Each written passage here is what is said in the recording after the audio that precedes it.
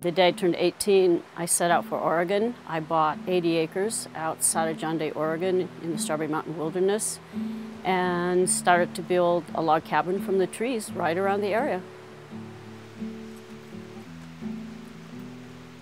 I am Yvonne Pepin Wakefield and I'm on my log cabin porch outside of John Day, Oregon. This place came to me as kind of a vision. The night my mother died when I was 14, officially making me an orphan, I did not know where I was going to live, how I was going to live. And if I could make it to age 18, I knew I would get some of the inheritance my parents left for my education. I was in uh, St. Paul, Minnesota. And so I just thought, well, Oregon, I'll check out Oregon. I'd read some books on how to build a log cabin. So the first tree, I had the book out. It falls the wrong way. It almost killed me. So I found a man named Jim who helped me build, and he basically taught me everything I know. Uh, I started in 1975 and finished that year because I wintered it up here. It's all on posts up here, so they're on piers that are sunk four feet down below the frost line. So I mean, everything in here was hand stripped, hand cut. The only mechanical tool we had was a chainsaw. It's too bad the light's not coming in now, but I'm, I'm still using the same kerosene lamps that I've used forever. Make your fire here. You can either cook on the flames inside or you can cook on the upper part. And come on up, see the little loft.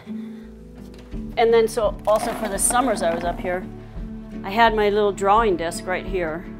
And I'd have a kerosene lamp on each side of the window. And this is where I did my artwork. This is my Google, which is a 1958 set of encyclopedias.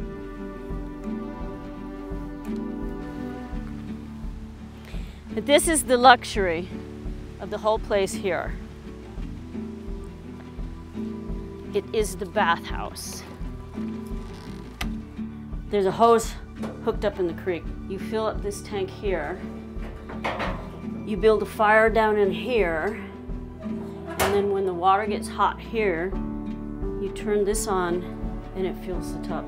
I originally was going to build this cabin and then go back to college and decided after I built it I was going to winter it. So I stayed here until January. After three and a half months, I decided I couldn't winter it. So I went back to college and now I just, I, I come up here at least twice a month. I'm an artist and an author, and that doesn't always mean like a regular paycheck. So I've taught in order to help support myself. Babe in the Woods self-portrait takes up after Babe in the Woods, building a life one log at a time. And it's like those, those six summers I spent up here. And that's really where I write about developing as an artist. Up until two weeks ago, there was no cell phone reception up here. There's no electricity, there's no outside connection. So I have what I hear outside and what I hear in, in here is a time to really unplug, to have different kind of creative energies come through me. I paint and I write. This little Dean Creek, which I hang out and drink from and bathe in, and it eventually empties into the Columbia River, which runs right past my brand new gallery and studio that I just had built down in the Dalles. I've been painting for decades the landscape in between here and there. And so like the landscapes I paint here end up in the gallery, just like the water here ends up going past my gallery. I have this little 200 mile radius bubble, which just works perfect for me. My life in the Dalles is great, this place is great, and I, I just kind of go in between. And in between, you've got all the geological landscapes that inspire me as an artist. And also building this place is, it's established a philosophy in me there were so many times I wanted to quit. It was just too hard. And if I had quit, I wouldn't be sitting here right now.